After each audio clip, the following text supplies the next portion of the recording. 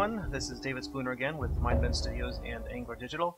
Um, I wanted to follow up on the previous tutorial that I did. Uh, I have been doing a lot of research into uh, trying to figure out a better way to do the Tron light cycle light, light streaks, and um, they came up with a really good, really good combination of a, of a couple different ideas. Um, so what, what, what we're going to do is we're going to we're going to attempt to take a light cycle animation path and have two points created at the point of the light cycle and then create geometry for that from that so that we can then wrap a a, uh, a, texture around it to give it the light path.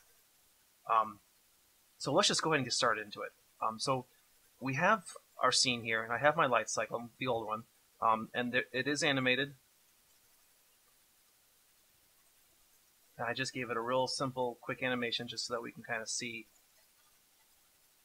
the it, it applied to, to a new animation. So we're just going to take this and we're going to apply this new technique to the animation and we'll show you I'll show you how powerful it is. So first thing we're going to do is we're going to we're going to create the two points in which these these uh, these particles are going to emanate from so that we can create the, the geometry for, for the for the light trail. So what I'm going to do is I'm going to create two cubes and I'm going to attach them to the rear of the bike right where I want the um, right where I want the the light cycle trails to come out of. Alright, so here's the cube. I'm probably going to make it uh, 5 pixels all the way around, or 5 centimeters all the way around. And we're going to take it and we're going to move it right to the center portion of the rear of the light cycle. Just going to put it right, right there. That's where the ribbon's coming out of right there. Okay. Come over here to the left portion here. I'm going to take it, move it up. I'm actually going to put it inside the geometry of the wheel. I'll put it right there. And I'm going to copy, I'm going to duplicate it, and I'll put, I'm going to, I'm going to name these trail bottom, trail top, so that I know what they are. I'll move the top part of it to the upper portion of the geometry, and still keep it with inside the wheel. So now I have both the points in which to in which to create the the the begin the, the bottom and the top part of the, the trail. So I'm actually going to move these right into the light cycle uh, null object that has everything that has to do with the light cycle. And as soon as I do that, those points, those two, those two cubes that I made are going to follow the, the light cycle. So that's that's all we have to do for creating the, the two points to, to emanate from. So what we're going to do now is we're going to create the the actual light ribbon um, spline path or the uh, the uh, the actual uh, spline that we're gonna we're gonna generate. So we're just gonna create a simple rectangle. Move that here so we can kind of see. And for the size, I'm gonna do three pixels for the width, and for the height, bring it down to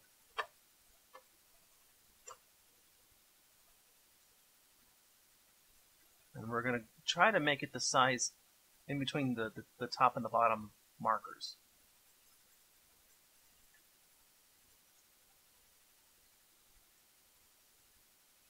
Alright, so that's good. So 75.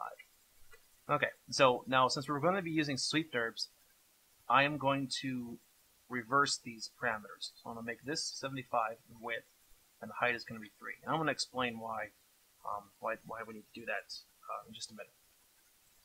So we have what we're going to to wrap around uh, a sweep NURB. So let's go ahead and create our sweep NURB. It's under Hyper NURBS, under sweep NURBS. We're going to create that. We're going to put the, the rectangle in there. Now, what we're going to do is we're going to create two tracer objects. And under, this is under MoGraph tracer. We're going to create two of these. One to trace out the bottom animation of, the, of this cube and the top animation of this cube. And we're going to call these bottom trace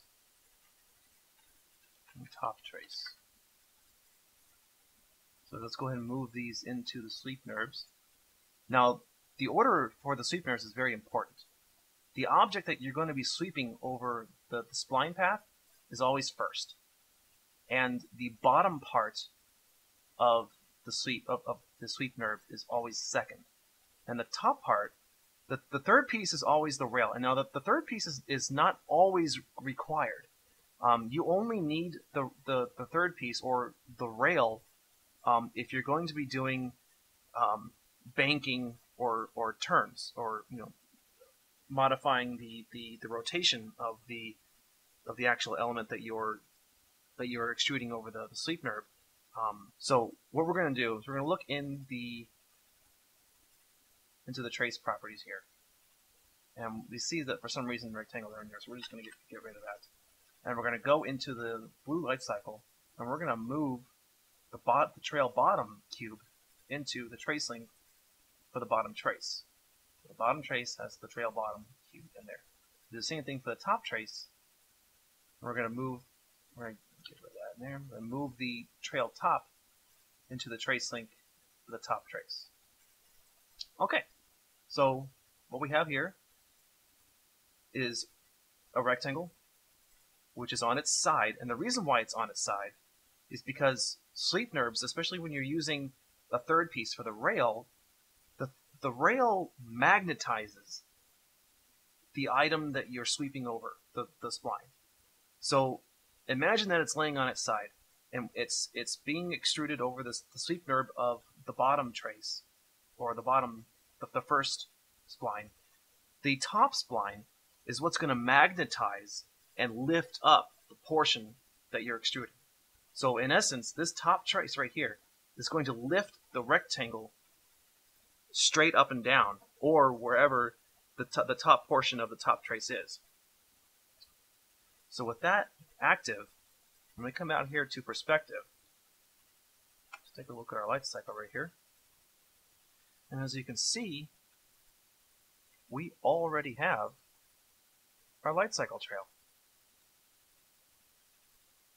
And this is dynamic. It'll follow the animation all the way.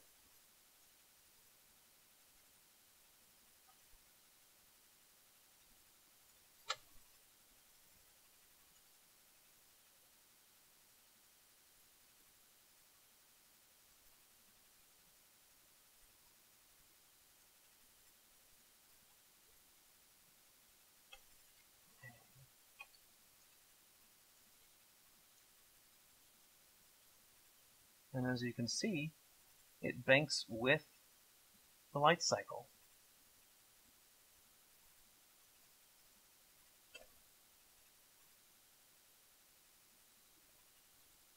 See that?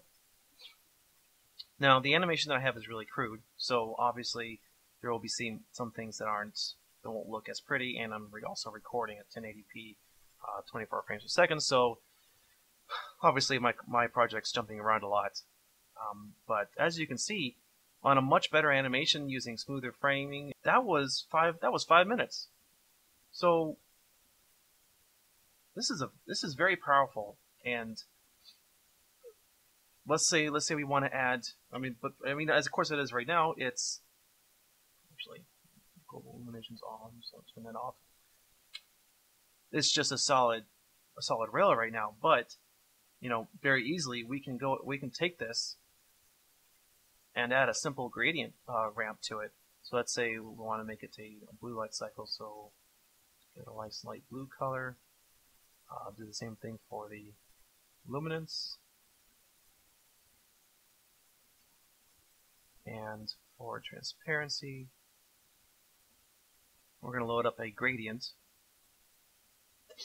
and uh, because we're, we're wrapping this over UVW, it will wrap all the way around. So it goes from the left side all the way down to the bottom, and on the right side all the way up to the top. So the bottom of the the light trail is actually in the middle of this gradient.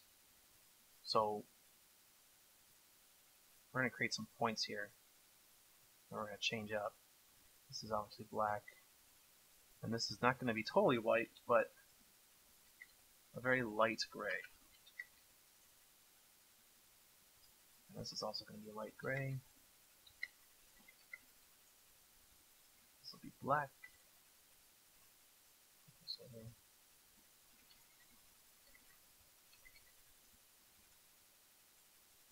Will be also light gray. And that's also black. Okay, so we apply this material to the sweep NURB.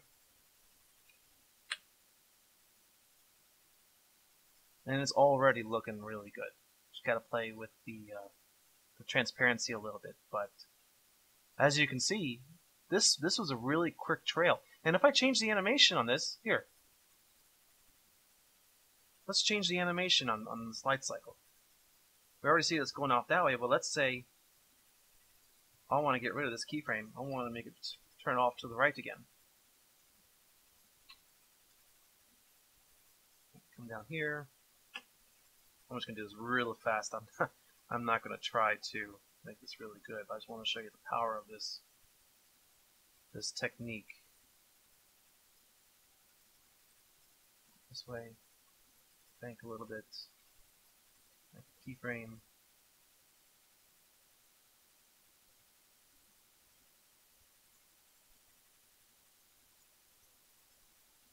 Move this a little bit.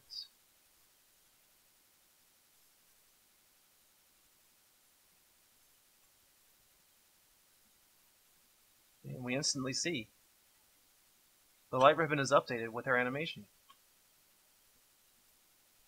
So use, using this technique, very simple technique, you get very quick, decent looking results.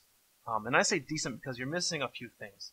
Um, most importantly, you're missing the the light cycle bump. You know, like um, in in the in the movie, the light cycle, the actual ribbon actually comes out and then up like a little hump, and then it goes on. So I've tried to trying trying to discover the, how to do that with the material, but I have yet to figure out how to do that. Um, so this is pretty much a square uh, light cycle ribbon, but it's it's still pretty good for for how quick it was to implement this. And I, I hope I hope that, uh, that there'll be people out there who, who are especially looking to do this in, in Cinema 4D. Um, using Cinema 4D and, and, the method it did before was was extremely time consuming, and using this would have cut off probably about four days worth of animation and and a lot of keyframing and, and stuff like that. So um, I hope that this will um, that this will help out people trying to create a similar effect. And um, if you have any questions on trying to implement this, um, please leave, leave, a comment.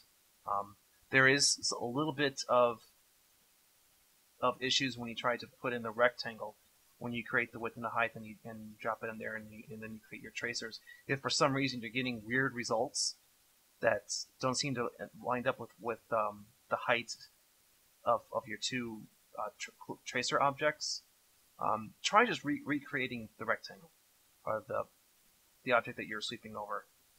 Um, sometimes if you if you rotate it too much or you um, you do too much to it, it won't extrude over the sweep NURB properly. So just remember your width and your height, and then just delete it, and then recreate the uh, the uh, rectangle spline.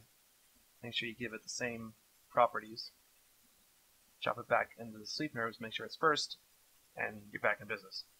So, um, I'm David Spooner with Mindbend Studios and Angler Digital, and um, I will talk to everyone later.